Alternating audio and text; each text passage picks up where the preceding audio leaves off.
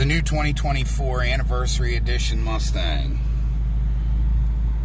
There's your sport racing mode for the track. Drag, which it has a line lock in it, and slippery mode. I keep it on either sport or normal. There's your steering, sport, normal, and comfort.